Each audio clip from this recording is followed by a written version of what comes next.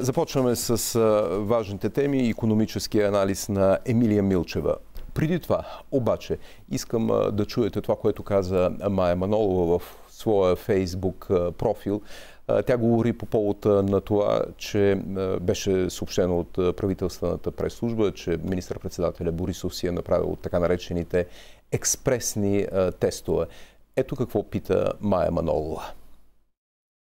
Това е една котийка с 25 бързи кръвни теста, която от Изправи се България поръчахме за един пенсионерски клуб. Имам три въпроса към премиера Борисов. Защо тези тестове ги няма свободно в аптечната мрежа?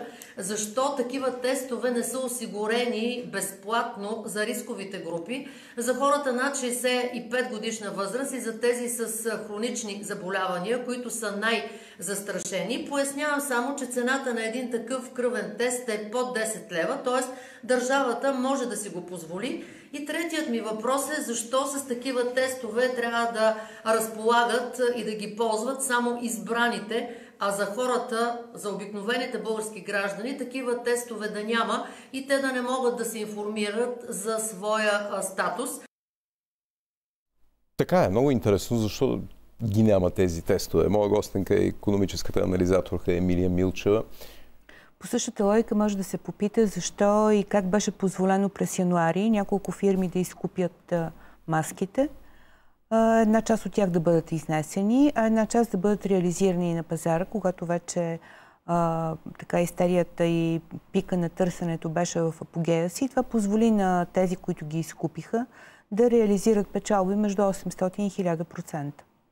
800 хиляда. Да, защото а, една котия маски, а, която се продаваше за няколко лева, достигна цени между 70 и 100 лева. Аз не знам дали сте видяли днес това съобщение на прес-центъра на Министерския съвет за проведения телефонен разговор между Бойко Борисов и Урсула фон дер Лайен. Оказа се, че България не е била включена в тази процедура за обща обществена поръчка на Еврокомисията за маски и за защитни дрехи, защото не, били, не била ратифицирана не знам каква спогодба, защото пък нямало авторизираният превод от Брюксел. Нали? Просто е безумно. Затова Борисов трябваше на пожар да говори с фон дер Лайен. Нали? Но...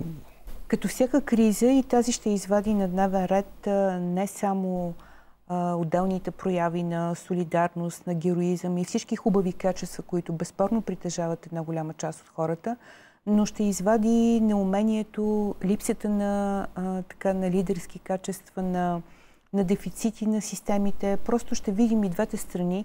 Надявам се да не е за много дълго време. Добре, какви са страховете на от една страна на бизнеса, от друга страна на държавата. Вие казахте, че а, Горанов трудно отваря кесията. Но сравнението с другите европейски държави е неминуемо. Аз от една страна просто ще припомня, че България е най-бедната страна, членка на Европейския съюз.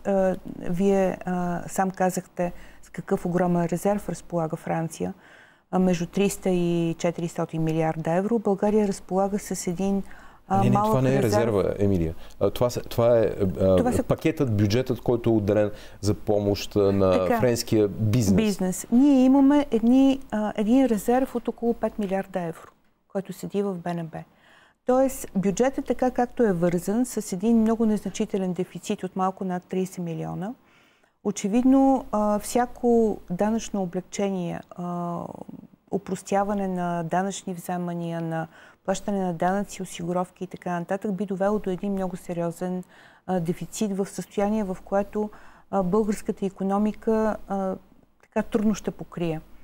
Очевидно, аз не смятам, че това е основното опасение, макар че то ни отдалечава доста сериозно от, от, от чакалнията на еврозоната, където очевидно най-вероятно може и да не се случи влизането тази година. Но всички останали държави, от Китай, през Австралия, Великобритания, Франция и още няколко, които са обявили мерките, включително и Тръмп, сега най-вероятно защото... Страхотен бюджет. Да, най-вероятно защото Тръмп ще говори. Е... Към един а... трилион отива. Да, да, да, но обеща да тези а, така наречените payroll tax да, да бъдат освободени всички американски граждани. Нали, поне такова нещо анонсира президента разбира се, той е под напрежението заради президентските избори, но в България също предстоят избори до година. А, така или иначе, към момента правителството просто а, копира и то като ги редактира лошо едни чуждестранни а, мерки. Примерно това с плащането на 60% от заплатите на работници, които са застрашени от съкръщение, всъщност е само за един месец. Дания прави същото за 3 месеца. При това там се дава възможност и за плащане на няколко дни от платената отпуска и така нататък и така нататък. При нас се предлагат някакви кредитни линии от Българската банка за, за развитие.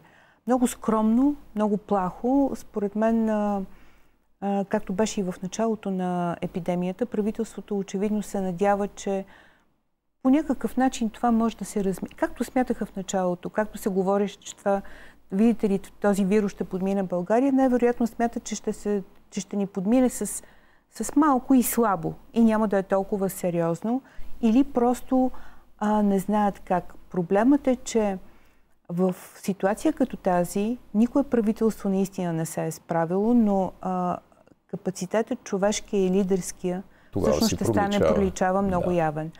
А, нашите политици, не говоря само за управляващите от ГЕРБ, а, говоря за тези, които са ни управлявали, винаги са свикнали да мислят в един много тесен хоризонт от мандат до мандат, ако може сега така да изкараме до следващите избори, да пък тук да че, раздадем. Да припомним, че Сергей Станишев, тогава министр-председател на България, е казал, кризата 2008 ще ни подмине. Нали? Лиман Брадърс и така нататък. Точно така. И си спомняме после какви гимнастики правеше Симеон Дянков, за да докара един дефицит, който всъщност не беше така и лъсна. Mm-hmm.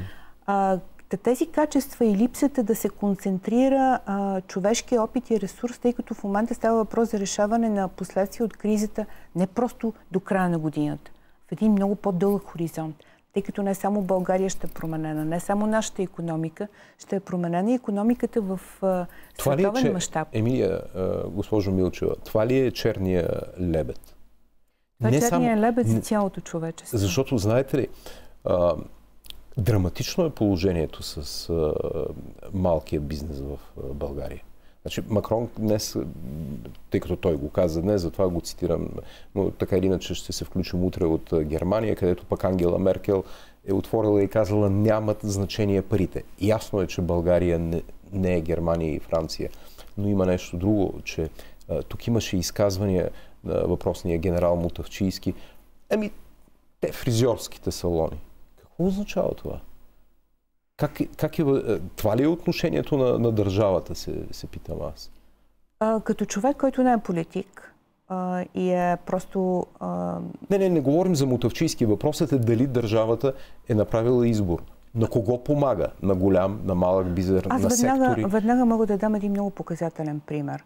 А, всъщност няма българско правителство, от, така, като се замисля от най-новата история, което наистина сериозно да е било загрижено за малкия и среден бизнес. Обикновено всички управляващи от цялата политическа каста са били винаги а, на ти, а, на партии, на белочета или нещо друго с едрия бизнес. Малкият бизнес е оцелявал някак между другото. А, припомням една от промените, които се случиха и които така под влияние на, на, на паниката и стреса от коронавируса, така не им обърнаха много внимание, но а, от а, видеокамери бяха освободени данъчните складове. А, искам само да припомня, че тези всъщност акцизни складове а, по отношение на горивата, там а, почти всички се държат от Лукойл. Това беше И така открито... стигаме до голямата тема. Е, поне три пъти или четири пъти в деня съм е повдигал. Повдигнах е в сутрешния блок на BTV, ако не се лъжа, или при Цветанка Ризула. Отговорът е ми, ние сме купували скъп петрол. И сега чакаме да видим кога, дали октомври или ноември ще дойде ефтиния. Ами те най-вероятно много ще почакат, тъй като както и, в, както и навсякъде, в повечето бизнеси, тук оборотите са намалели, тъй като хората пътуват по-малко, естествено поради ограниченията. А в България никога не е имало една наистина така сериозна дейност на Комисията за защита на конкуренцията, която да, да, да бъде наш представител на гражданите да следи в името на по-качествени услуги за гражданите пазара. Нещо повече. Вие сте голяма специалистка и знаете, че проблемът е в законодателното решаване на проблема с данъчните складове. О, да, Ако искате да внесете по-ефтин бензин, няма къде да го държите. Няма къде да го държите, защото там Но... има друг, нали, който, който Лукойл Нефтохим, да. И, и така, и сега преследват аптеките, обаче никой не, не гледа бензиностанциите. Всъщност там е а, големия проблем. Вие казахте и там ви прекъснах, че всъщност винаги българските правителства и сега на ГЕРБ и предишните са обичали големия бизнес, защото там са големите пари, там са евросредствата ли? Това е някакъв белег на, на прехода. Така тръгна от самото начало. Така тръгна с мултигруп, така тръгна с големите групировки. А, помните как в началото на прехода всеки малък бизнес, който се появи, той беше на практика унищожен повечето хора, които тръгнаха с кафенета, които отвориха ресторанти и така нататък. Една голяма част от тези хора днес ги няма. Имаме а, много малък дял семейен бизнес в, а, а, по отношение в туризма. А, и тези хора с, а, правят а, всичко възможно да си държат главата над а, водата и да оцелеят. И това, което казахме, фризьорските салони и малките бакалийки, магазинчета, доколкото са оцелели от големите търговски вериги. А никой, според мен, не мисли изобщо за тези хора. Нещо повече по, а, по критериите за малък и среден бизнес, те изобщо не покриват тези критерии, те са твърде високи за, за българския А както и каза бизнес. Никола Янков с нощи в това студио, Българската банка за развитие, където има много любопитни, нали, която вече е обвързвана по някакъв начин с интересите на Делян Пеевски и така нататък, има интересни планове да влиза в собствеността на големи български фирми но тя не не е откривала тези линии, по които точно сега Германия, Макрон и Меркел ще помагат на малкия и средния Те бизнес. Те обещаха и макар, че тази банка тръгна от една насърчителна банка, която всъщност беше открита точно с германска линия и беше открита в така в подкрепа на малкия и средния бизнес, се оказа всъщност, че тя подпомага основно големия бизнес в България. Най-големия. Да, или ако е подпомогнал някъде малък и среден бизнес, помня по времето на господин Станишев, имаше едни кредитирания на украински предприемачи по морето, които после фалираха. А какво очаквате? Говорихме за черния лебед и така да завършим. Какво очаквате да стане с европейската економика? след тези страхотни инжекции, които подготвят и вече ги вкарват Меркел и Макрон? Аз мисля, че моторите на Европа ще се справят. За нас е зле, защото ако бяхме вече в чакалнята на РМ2, ние бихме могли до някъде да се възползваме от тези, тези и от инжекциите, и от, как да кажа, спокойствието за инвеститорите, които носи едно такова членство но ние сме извън нея. И, и сега къде са тези е, разбиращите, които обясняваха колко зле? Къде са тези, които обърнаха еврата в, в е, левовете в евра, предполагам? Мисля, че едва ли вече мислят за... По-скоро обмислят новата, новата хибридна атака, която да, с която да бъдат атакувани. А в момента, между другото, ние сме в такава ситуация, не само ние, всички нации, полуоплашени и стресирани, много лесно могат да се появят лъжепророци, които да ни поведат на някъде или част от нас. Обикновено в такива времена се появяват лъжепророците. Които са облечени понякога дори в униформи. Дори в униформи. Нали? Добре, много благодаря. Емилия Милчева, харесва ми това, че сте по някакъв такъв почти германски начин спокойна и гледате напред, защото е ясно, че ще мине тази криза, но тя освети кой е най-големия проблем на България и така завършваме липсата на компетентност и дефицит на лидерство.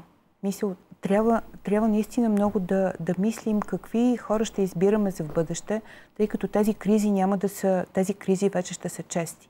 И това трябва да са хора визионери, хора с стратегическо мислене, не просто хора, които мислят от мандат до мандат. Много ви благодаря.